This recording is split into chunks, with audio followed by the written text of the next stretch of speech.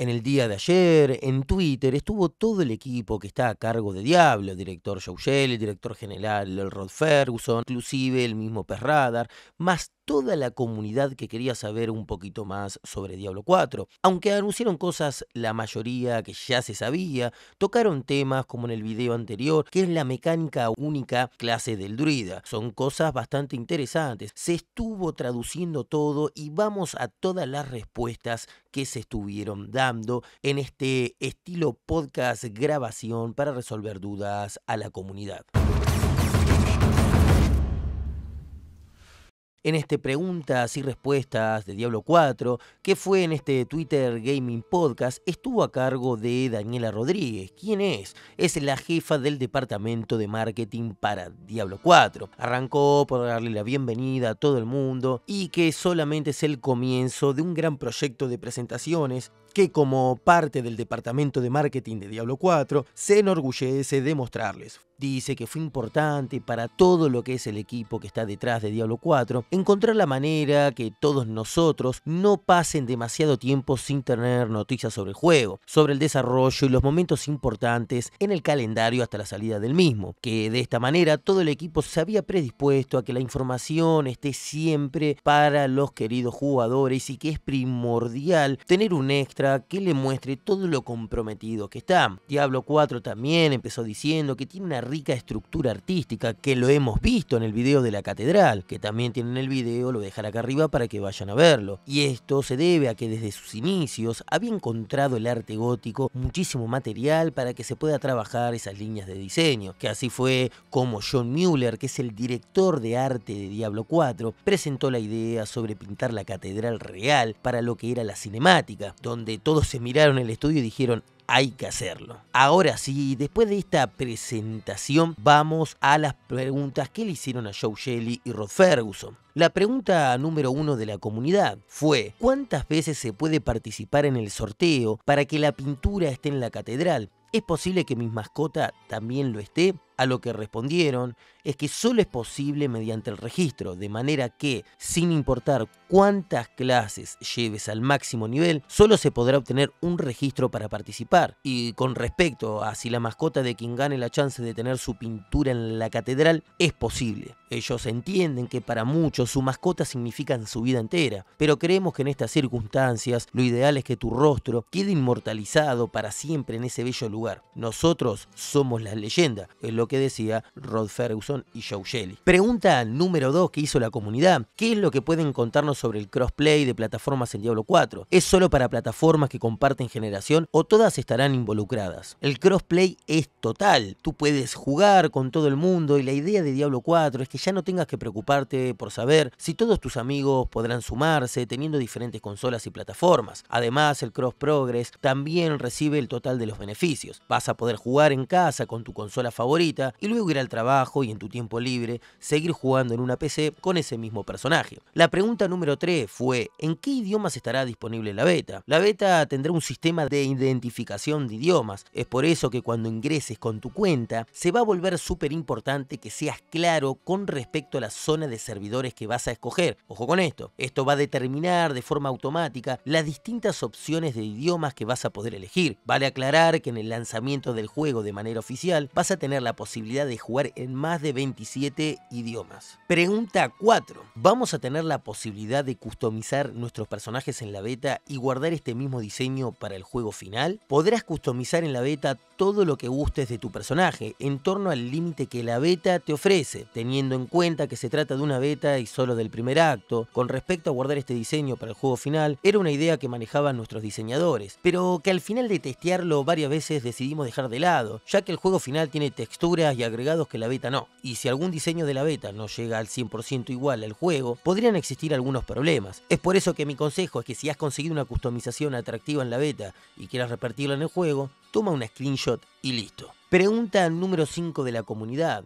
¿Puedes contarnos un poco más sobre la beta Wolfpack, que es la mascota del lobo? Mucha gente nos está preguntando en cómo funciona este Wolfpack. La realidad es que solo es una skin bonita que queríamos regalar a quienes pongan el máximo empeño en la beta. Además está decir que esta skin no tiene ningún beneficio de poder en el juego y justamente ninguna skin en el juego lo hará. Pregunta número 6. ¿Cuál es la clase que recomiendan o que ustedes jugarían en las betas, tanto la early como la pública? A lo que conté tanto yo, dice Joe Shelley, como Rod Ferguson, vamos a poder coincidir en que el personaje a descubrir e intensificar en las betas es el druida, algo que habían mencionado en el último live stream, que fue el que más trabajo les había dado y que más trabajo le habían puesto. Hemos puesto tanto trabajo en él, en sus mecánicas, en las animaciones de sus skills, así como en cada una de sus transformaciones que para nosotros se volvió una clase muy querida. Además está decir que el nigromante y la hechicera tienen sorpresas para todos ojo con esto, y que el bárbaro y la pícara sacarán lo mejor de aquellos jugadores más exquisitos. Pregunta número 6. ¿El tráiler de la beta tiene algún spoiler del juego al que debamos prestar atención? Realmente todo el arte de Diablo siempre tiene algo para contarnos, así que aquellos que nos conocen desde hace más tiempo van a poder identificar ciertas cosas. Por otro lado, la cara de Rob Ferguson está presente en algún lugar de la catedral, así que todos están invitados a tratar de encontrarla. Pero más allá de esto, no hay información fundamental que afecte el juego en nuestro tráiler. Pregunta número 7. ¿Qué podemos esperar con respecto al crafteo en las betas que vienen. El crafteo en Diablo 4 es primordial y ha sido uno de nuestros mayores desafíos presentar un sistema de crafting que le muestre a los jugadores qué tantas horas de farming valen la pena y que tú puedes craftear para tu clase el ítem que desees y que crea más conveniente de testear. Lo vale recalcar que el craft se vuelve súper interesante e intenso en el endgame, que es donde toma protagonismo. Podrás hacerlo en la beta, por supuesto, pero justamente como se trata de una beta, estarás obteniendo ítems mejorados y nuevos continuamente, de manera que no sé si aconsejaría invertir demasiado tiempo en esto. Pero en cuanto a las características de la beta, sí, podrán ir al armero y craftear ítems que estén al alcance de lo que la beta permita. Pregunta número 8. ¿Cómo funcionará el juego con respecto a quienes jugamos con joystick? Pregunta que me han hecho incluso a mí muchísima gente. Realizamos un trabajo genial con respecto a esto. Hemos creado un sistema de target tanto para PvE como para PvP, además de un sistema de navegación libre con asignación de botones para que cada uno tenga la posibilidad de jugar a su gusto. Con respecto al sistema de target para PvP, no queremos que quienes no utilicen controles se sientan damnificados. Así que todo esto estará funcionando solo cuando personas de plataformas se encuentren. De igual manera, hay un equipo completo trabajando en esto que, realizará actualizaciones mensualmente. Pregunta número 9. En la beta, ¿habrá separación de servidores por región o será absolutamente abierto y jugaremos donde nos guste? Con respecto a esto, hemos sido bastante severos. No queremos que nada ni nadie afecte la jugabilidad que esperamos que encuentres en Diablo 4. Es así que cuando tú ingreses al juego, deberás elegir en qué región vas a jugar y esto adaptará tu partida a la región correspondiente, para que puedas disfrutar del juego en su máximo esplendor. Pero si lo que tú quieres es sumarte a la partida de un amigo que no pertenece a tu región, claro que podrás hacerlo. Solo debes ser consciente de que esto quizás afecte tu jugabilidad. Pregunta número 10. ¿Diablo 4 regresará a la oscuridad que nos nosotros conocemos o cómo hemos conocido Diablo? Tenemos la noción de que Diablo nació como un juego oscuro y que fue eso lo que atrapó a muchísimos de ustedes, a sumarse en la lucha contra los demonios. Todo nuestro equipo gráfico viene trabajando desde hace muchísimo tiempo en un juego que respete esas bases, en un juego que le devuelva a cada uno de nuestros jugadores la posibilidad de sentir que está en un juego terrorífico abrumador y que todo el tiempo pone a prueba cuánto pueden resistir nuestros ojos.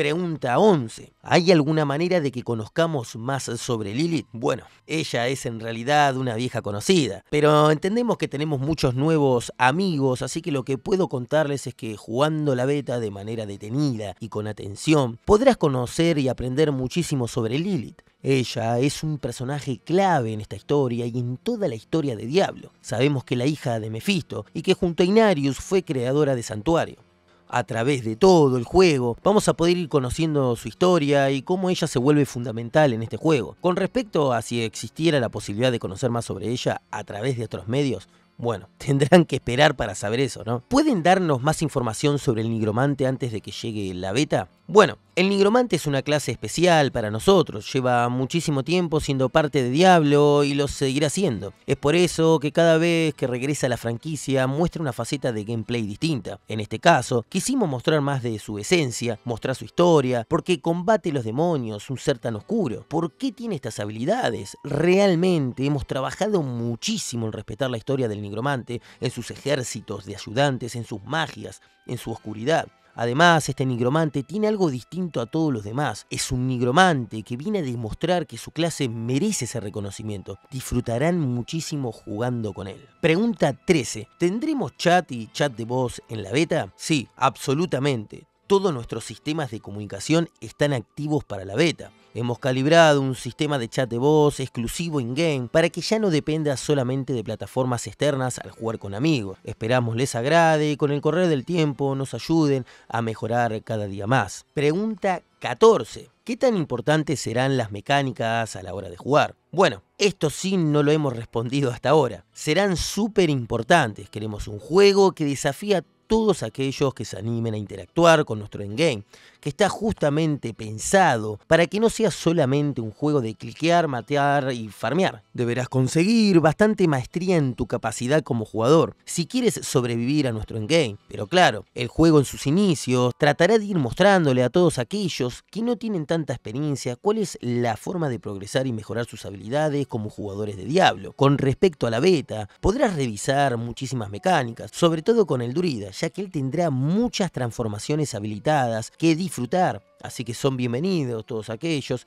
que gusten de jugar de una manera más técnica y Pro. Pregunta 15. ¿Qué tienes para decirle a alguien que nunca ha jugado Diablo? ¿Realmente vale la pena jugar Diablo 4? Bueno, es raro que respondamos esto, pero lo hacemos igual. Este juego es absolutamente nuevo, tiene un trabajo de muchísimos años encima y es quizás el primer juego de Diablo que tiene miles y miles de horas de feedback de nuestra comunidad, siendo esto una de nuestras principales guías para saber qué juego es tan esperado y creo que además es el típico juego en el que dices, wow, tiene todo lo que me gusta. Es como si un jugador hubiese pensado. Por último, la última pregunta de la comunidad, ¿se podrá streamear la Early Beta y la Open Beta? Obviamente que sí, por supuesto. Le damos la bienvenida al universo de Diablo 4 a todos aquellos que gusten de sumarse, sean jugadores activos o no. Así que todos podrán compartir su experiencia. Ahora sí, quiero que me dejen sus respuestas abajo en la caja de comentarios. ¿Qué opinan de las preguntas que hizo la comunidad? ¿Qué opinan de los que estuvieron respondiendo? En el anterior video también eh, tiraron una cosita por ahí de lo que es la mecánica del druida. Acuérdense que el druida es el que más esmero y más trabajo le han llevado y siempre hablan del druida cosas maravillosas. Quiero saber, quiero usarlo para la próxima beta de verdad. ¿Qué personaje van a elegirse? ¿Les gustó el tema de las preguntas y respuestas? La verdad que hay un montón de publicidad que ha estado dando vuelta, ¿no? Alrededor de la comunidad y nada, diableros, este es nuestro año. Va a salir Diablo 4 y la verdad que tengo muchísimo hype. Espero que de verdad, de corazón, esté a la altura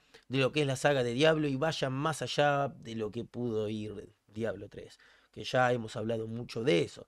Así que sin más, acuérdense de suscribirse al canal, acuérdense que tenemos el Discord de Diablo 4 Hispano para todos los diableros que quieran hablar solamente de Diablo, nuestra página web de diablo4hispano.com donde estamos desarrollando el sistema de builder y espero que lo apoyen, donde van a poder compartir sus propias builds, van a poder armarla ahí mismo, votar cuál es la mejor, la verdad que se vienen muchísimas cosas que no saben, no saben todo el trabajo que está dando, tienen nuestra página web Mundo MMO, que se la voy a dejar también abajo, que es un proyecto enorme, estoy a toda, gente, estoy a toda, se está trabajando mucho, así que lo voy a dejar ahí, donde se va a estar sorteando dos Diablo 4. Voy a estar sorteando un Diablo 4 para suscriptores en mi canal de Twitch y otro mediante Mundo MMO, así que nada, voy a estar sorteando muchos Diablo 4 para los que no puedan acceder y se van a estar entregando el 16. Otra de las cosas, se está cerrando el formulario para la guild de Diablo 4. También les voy a dejar el Discord ahí de la comunidad de Caos, mi comunidad, donde ya tenemos más de 200 y pico, ya vamos por un montón de gente, así que no se queden sin jugar solo. Sin más, los espero hasta el próximo video que se vienen full videos, 13, 14 videos de todo lo que es el mundo Diablo hasta la salida de la beta. Gente, estamos con todo. Gracias por el apoyo. Acuérdense de suscribirse, me van a ayudar mucho. Estamos en camino road to 20.000 suscriptores, así que de verdad se los voy a agradecer mucho.